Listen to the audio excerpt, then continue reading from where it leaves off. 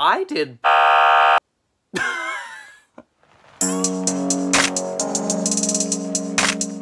Hey it's yeah girl.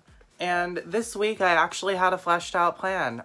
Oh my god, what a shocker. For once we're actually going to go through with that plan. I put on my Instagram story.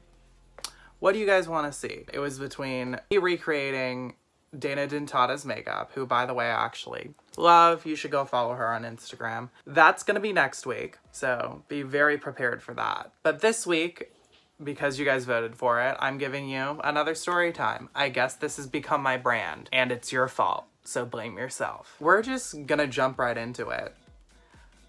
I did porn. Um, it's not something I really hide. It's not something I'm not proud about. It was a period of my life. It was it was a fun time. I was a hoe. I got paid for being a hoe. It was a great time. And like if you love what you're doing, and at that time I loved dick, so I was like, why the fuck not? Um, then there's nothing wrong with doing that. That being said, I wasn't like an adult film actor. I'm very hesitant to call myself that. I did a couple of uh, little videos here and there. I worked with this one company that was mainly fetish porn, um, where I got like hung from the ceiling, I got tied up, and, and that was like my my gig girl. I had the best time. People I was working with, um, we're not friends anymore. They're not the best people. They're kind of manipulative, but I'm not gonna go into that, and I'm not gonna say what company I worked for because I don't need to get sued. I have enough legal drama going on in my life, girl. Um, another company I worked for, it it wasn't really a company. I, I tried to have like a manager at one point and they booked me for one video and then never talked to me again. So that was great. Um, but I guess there are still DVDs of that being sold in Atlanta. At one time I was a little white twink. Oh my god. Scaring all my followers who didn't know that I have a dick. But no, it was it was very interesting, to say the least. I lived in Vegas during this period of time with some people who ended up stealing um, everything I owned at the time, which was very, very fucked up. Again, not saying no names. We're not here to air out other people's dirty laundry. We're here to air out my dirty laundry.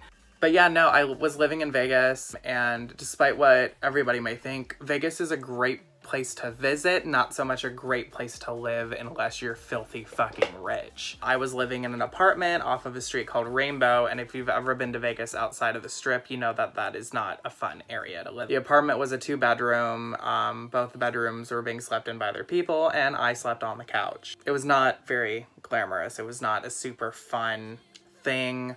Um, I was just trying to be on my own, and the one way I thought I could do that was to do porn.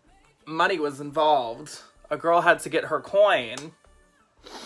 And you know, there's no shame in that, despite what Nikita Dragun may say. It was going very well until everything sort of fell apart with the two companies I was like working with. The fetish company, uh, we just had a falling out because I wasn't really like wanting to fuck them, which is, it's very weird. It's a very, very odd relationship. Um, but we had a falling out because I didn't want to sleep with the director. Um, I had a falling out with the other two people I was living with who were also porn actors because, again, they stole everything I owned. As for the other company, I just, I never heard back from the manager, so everything just fell apart. It very clearly wasn't for me. See, what I want to do is be able to just, like, throw up, like, the flyers that I've got from these things, but I know if I put up any screen caps or any flyers, like this video is gonna get taken down in five seconds. So, you know, if you follow me on Twitter, I will post them there, like right after I post this video. Okay? So follow me on Twitter, at killskyy. very, very interesting and eventful part of my life. Um, I was, unfortunately, on a lot of drugs. Um, and that probably did contribute to my inability to like commit to the adult film world. I'm so hesitant to say that. Yeah, very short story time, very like uneventful. Um, but I knew you guys wanted to hear it and you guys voted to hear it.